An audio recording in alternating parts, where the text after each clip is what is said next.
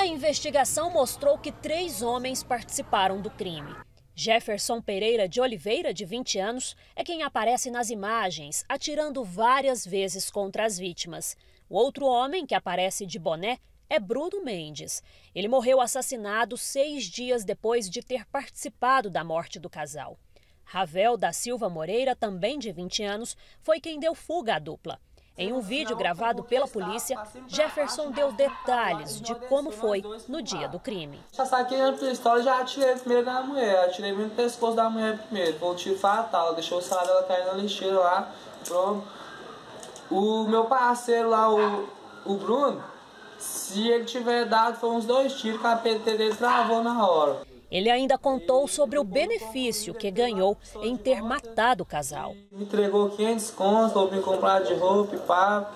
Eu comprei, taquei fogo nas minhas roupas, que eu tinha cometido um homicídio, comprei um tênis, os três roupas, eu comprei comida para casa. E foi isso.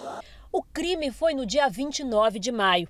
O casal Carmen Lúcia da Silva e Júnior Leão Feitosa já tinha passagem pela polícia por tráfico de drogas, mas na época do assassinato estava trabalhando com entregas de marmitas saudáveis em Umas.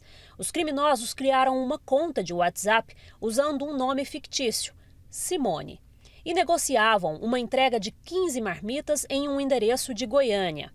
Prints das conversas mostram essa negociação e a insistência em fazer com que o casal entregasse o produto aqui em Goiânia. Parte do pedido foi pago antecipadamente.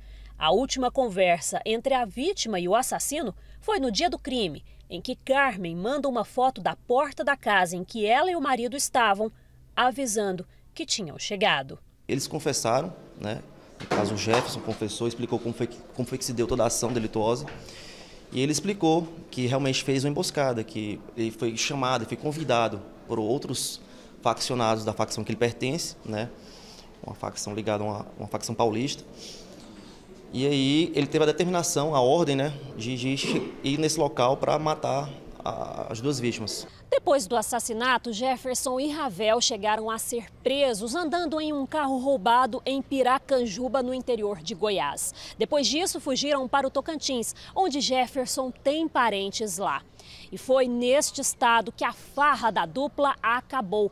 Eles foram presos pela morte do casal, quase três meses depois do crime. Os criminosos já identificados e presos, eles responderam por homicídio qualificado né, e por associação criminosa. E as, as investigações elas continuam no sentido de identificar os outros comparsas e o mandante. Um fato que chamou muita atenção é que a filha de Carmen Júnior estava dentro do carro quando tudo aconteceu. Ela tem nove anos e viu tudo. O Jefferson nos relatou que não tinha conhecimento que essa criança se encontrava junto com, com as vítimas. Né? Ele até falou que o único arrependimento que ele tinha foi quando ele descobriu que essa criança se encontrava lá. Ele ficou um pouco com, com remorso, só em virtude da criança que se encontrava no local.